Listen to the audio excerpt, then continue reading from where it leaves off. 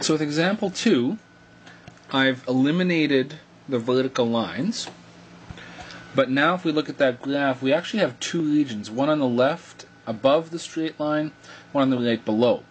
So we're actually going to have to do two integrations here. This is like two questions in one. What changes is between region 1 and 2, one function is on top in region 1, the other function's on top in region 2. So sadly, there is no way of shortcutting this. There is no way of, of making it any easier. We're just going to have to basically go ahead and do this twice. So for region 1, we're going to integrate that region begins at negative 1 on the x-axis and ends at 1. So we'll integrate from negative 1 to 1.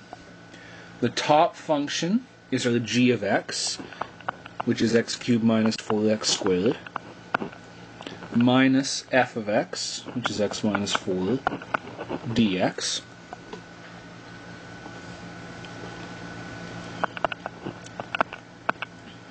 We don't actually have any like terms to combine here, so we'll just distribute that negative sign in, integrate,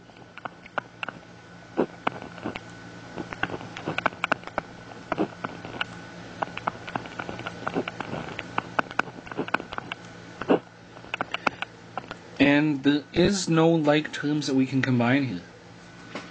No simplifying we can do. That's as simple as this integral is going to get. We will have to find f of 1, subtract f of negative 1. Go off to the right to find those.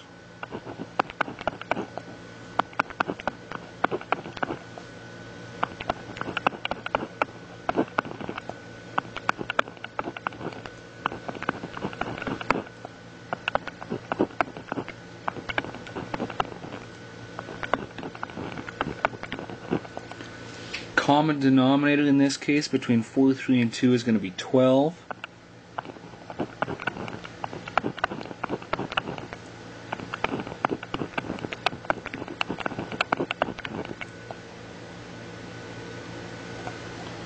It's going to give us 29 over 12 here. Do the same basic process, find f of negative 1.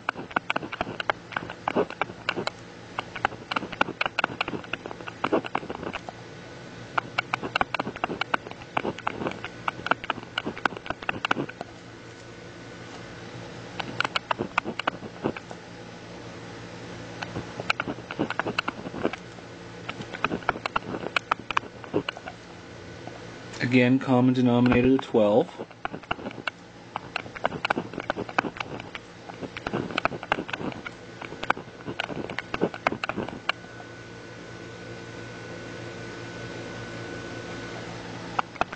Gives us negative 35 over 12.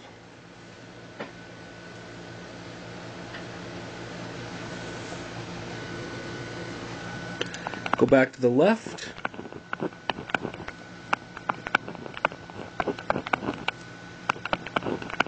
We get 64 over 12. We can reduce that a little bit. 16 over 3. 16 over 3 units squared in region 1.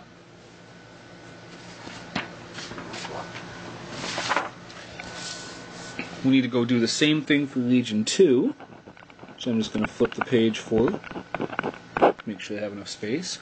Region 2 starts at 1 and ends at 4, so that's where we'll integrate from.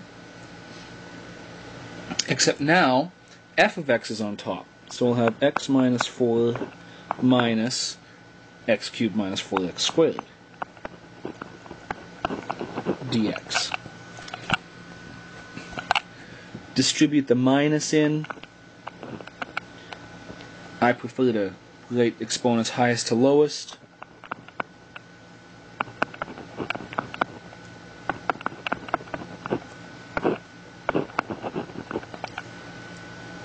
integrate.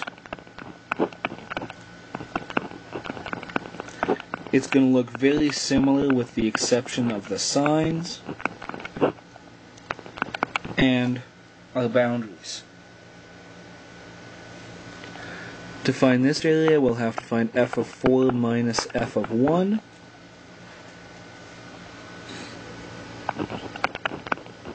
Go ahead and calculate each of those.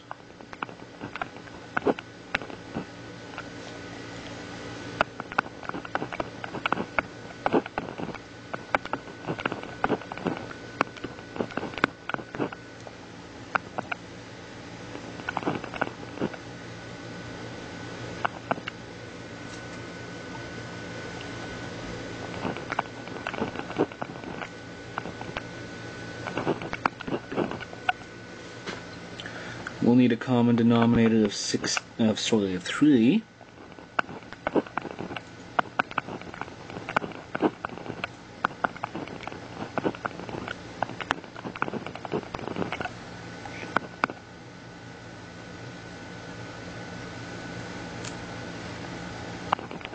Gives us 40 over 3. f of 1 now, I know we found f of 1 for region 1, but that was a different integral. We still actually do have to go and calculate it again.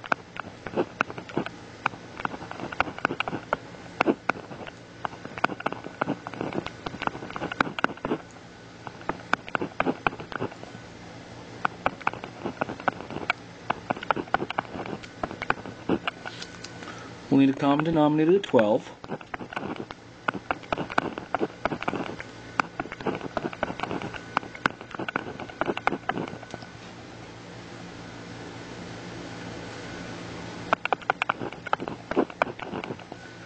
Negative 27 over 12, which we can reduce, so we might as well do so now. Negative 9 over 4. Go back to the left, put in f of 4 and f of negative 1. Now that reducing didn't help us much, we're going to have to go to but go back to a common denominator of 12.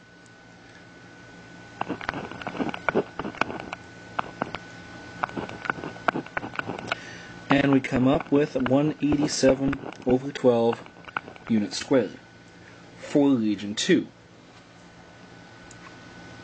To find the total area trapped by these curves, take those individual areas, add them together.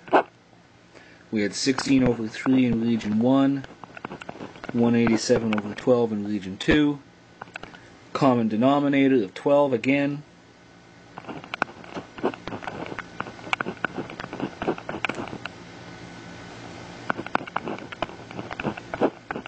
251 over 12 units squared altogether.